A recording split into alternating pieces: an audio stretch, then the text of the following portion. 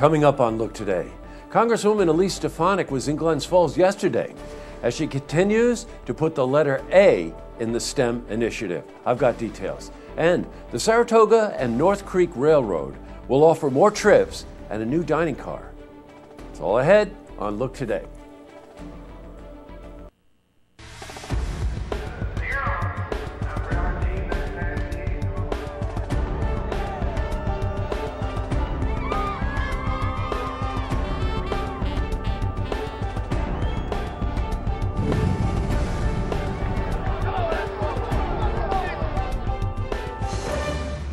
Welcome, everyone. I'm Jay Hood Jackson, and this is Look Today. Well, in tonight's program, I sit down with Kevin Myers. He's the executive chef at Gaffney's in Saratoga, and we try some chowder in anticipation of Chowderfest. And we talk with Heather Hicklin. She's the director of the World Awareness Children's Museum in Glens Falls. Plus, we've got your weather for the Tri North counties. But first, these headline stories. Well, in our lead story, Congresswoman Elise Stefanik was in the area yesterday visiting three local businesses. As we reported, Stefanik toured the Hyde Collection Art Museum, and part of the tour featured educational programs for children offered by the museum. Well, Stefanik praised these programs and discussed a bill that was enacted in 2015.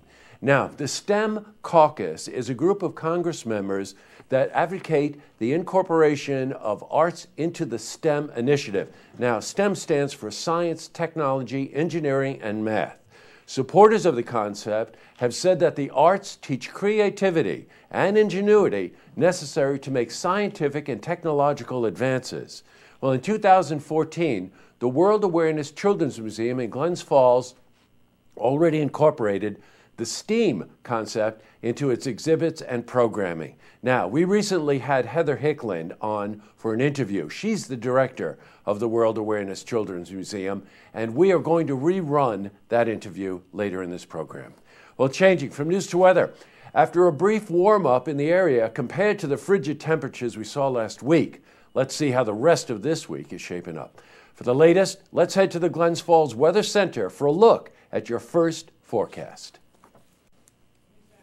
Back to the news. Well, General Electric in Fort Edward is hosting a job fair for the employees that have been laid off due to the plant closing. Two years ago, GE announced that it was transferring capacitor manufacturing operations from Fort Edward to Clearwater, a move that affects about 184 workers. GE has offered workers positions in Florida or a chance to explore other job opportunities within the company. Employees who have chosen not to transfer have been offered benefit packages in helping them pursue other employment. GE will be hosting job fairs to aid as well. Here's what they had to say. I think it's great. It's unfortunate that we have to be here, but under the circumstances, you know, this is a great start.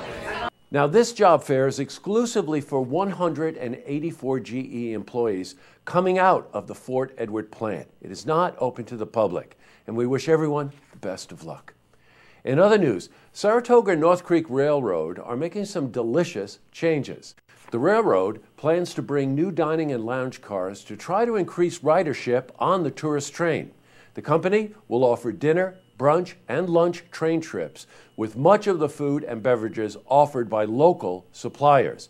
Now, they will also offer more dining options for a total of 94 dining trips between Saratoga Springs and Thurman Station. This represents an increase of over 15 offered last year. The company has seen lower than anticipated ridership numbers, though the Polar Express holiday trips have done well this year. Saratoga North Creek Railroads canceled snow train trips for skiers this winter between Saratoga and North Creek due to ridership numbers.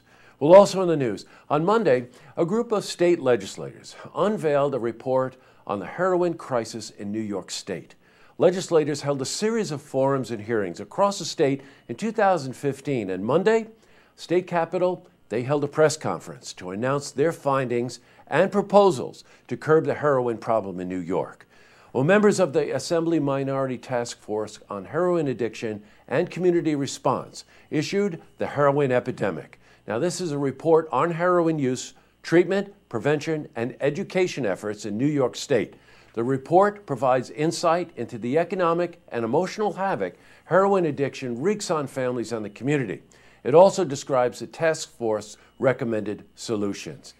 Now, heroin addiction is a problem that must be attacked from multiple angles and detail from every perspective. For example, hospitals, law enforcement, school, and parents must be equipped with the tools they need to prevent addiction. And for those who have already become addicted, it is imperative that professionals dealing with detoxification, rehabilitation, and recovery have the ability to communicate with one another in order to provide each patient with the long term therapy and help they desperately need. And we are going to continue to update you and get more involved in this topic in the future. Well, coming up next, I sit down with Kevin Myers. He's the executive chef at Gaffney's in Saratoga to try some chowder in anticipation of Chowderfest. Plus, I also sit down with Heather Hicklin. She's the director of the World Awareness Children's Museum in Glens Falls. But first, if you see news happening, you want to share a story idea, or join us for an interview, give us a call on the hotline. The number is 798 8000.